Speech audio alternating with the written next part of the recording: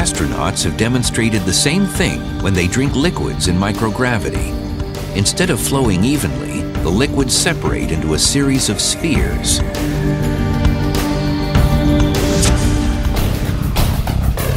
But there is one system that would work well for keeping away the bad guys in space. Launching bullets with a railgun. Railguns use a series of strong magnetic fields rather than gunpowder to propel bullets.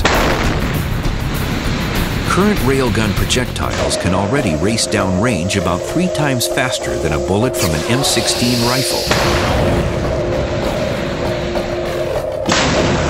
The idea of a railgun is you take a small pellet that's uh, maybe metal, it may be plastic, maybe whatever, but you have to have, uh, have it wrapped in aluminum foil because you complete an electric circuit between two long rails and the magnetic field created uh, accelerates that little pellet out the end of the rails and it can accelerate it very fast up to uh, uh, some people believe close to the speed of light. Similar systems are at work in certain bullet trains and roller coasters. We have a series of magnets and the magnets propel an object, either a roller coaster car or this giant slug of a bullet you want to use to hit something in space, from one to the other, accelerating as it goes. And by the time it's reached a certain number of uh, accelerators, a certain number of pairs of magnets, it's really going as fast as you need it to go. Mounted on a large spacecraft, the railgun could become the naval cannon of the future.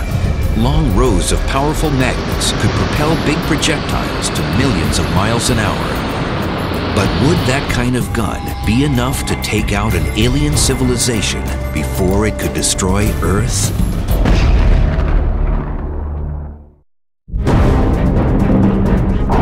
A hundred years from now, spaceships at war may blast away with ultra-high-speed railguns that destroy targets without explosives. Just by slamming into the enemy at many thousands or even millions of miles an hour, they'll release incredible amounts of kinetic energy, the energy of motion. In 2008, the US Navy tested the most powerful railgun that now exists. Using a series of magnets and strong electrical currents, it launched a 7-pound projectile at over 5,000 miles an hour, the gun's estimated range when fully operational will be 200 miles. A slug, moving at seven times the speed of sound, does a lot of damage. It's one of those things where you're glad it's on our side. It's the kind of weapon that could really do some damage to the capital city of a violent alien civilization. You can envision the big mothership having a railgun that runs along the periphery from one end to the other, and it could shoot a very large projectile like the size of a car or a bulldozer that you could then accelerate on that railgun maybe 10%, 20% the speed of light. And that much kinetic energy could likely destroy the whole city. I mean, that's a lot of energy. But such an advanced railgun is obviously a long way off. So are there any kinetic energy weapons that could come to space in the near future? Remember the telephone pole-sized rod pummeling the underground bunker in our moon battle set a hundred years from now? Well, that weapon, known as a rod from God, is simple enough that it could show up if a war comes to space in the next few decades. A small rocket boost would get the aerodynamic rod started. Basically just a big metal rod and probably something like tungsten or, or some really strong and heavy metal that uh, you can put in orbit and drop it onto the uh, wherever you want, whatever the target is from space, and just let gravity accelerate the thing.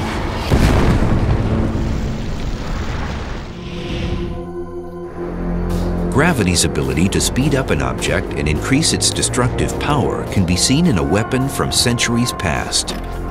The trebuchet, which is a type of catapult, used to rain down destruction from on high. Gravity acts upon an object like this rock at a rate of 10 meters per second squared, roughly 30 feet per second squared. So if we take it and drop it, it's fallen for less than a second, has not come close to reaching 30 feet per second. But take that same rock, launch it with the trebuchet, higher, further, it will have a chance to accelerate to 30 feet per second, 60 feet in the second second, 90 feet in the third second. When it hits, it'll leave a much bigger crater.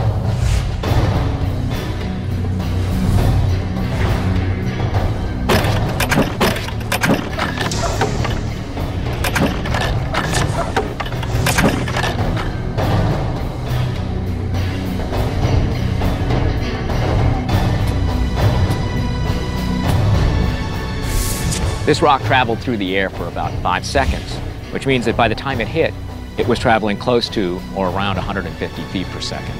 And with that added kinetic energy, it left a much bigger crater. In the battle 100 years from now, the rod launched at the moon has an advantage over the rock from the trebuchet on Earth. Since the moon doesn't have any atmosphere, the rod keeps accelerating until it impacts the underground command post of the Separatist colony. It burrows into the moon rock and destroys the command post. But what if the Separatists on the moon return the favor and launch a rod from a space platform at Earth? Earth's atmosphere will slow the rod, but will it be enough to prevent a knockout blow to an underground headquarters on Earth? When it hits the upper atmosphere, it's doing about Mach 25, 25 times the speed of sound. It slows down as it comes down through the atmosphere, but if it were to hit the Earth, it would bore way down in there because it's going to hit at like 5,000, 7,000 miles per hour. So the amount of energy that's dumped in a very small space in a very short amount of time is equivalent to a small nuclear weapon.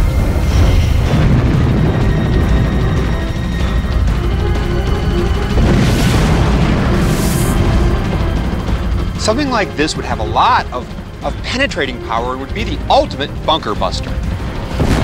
But as impressive as the speeds of rods from God and railgun projectiles are, nothing can compete with the laser's speed, the 186,000 miles per second speed of light. Lasers have always been the favorite weapon of science fiction space battles. The idea of having a personal laser is just fascinating and attractive. I would have loved one at the age of 12 myself. It's the same way that kids sometimes want to be cowboys and gunslingers. Uh, there's something very fun about the idea of uh, having a, a, weapon that is quick, painless, instantaneous, and makes you uh, the, the, the, toughest SOB in the valley. But what exactly is a laser? Lasers can be thought of as sort of a high-tech flashlight. But all the waves are in phase, so you've got all the wave crests lining up. So that makes the radiation really intense for a given amount of power. See, normal light from a flashlight or from the sun is all out of phase. It's incoherent. Some wave crests are like this, the wave troughs of other waves are like that. They tend to largely cancel out. And what you see is the leftover parts that didn't cancel out. Most visible light laser beams appear as a certain color, since only the light in that specific color frequency is lined up and coming out of the chamber.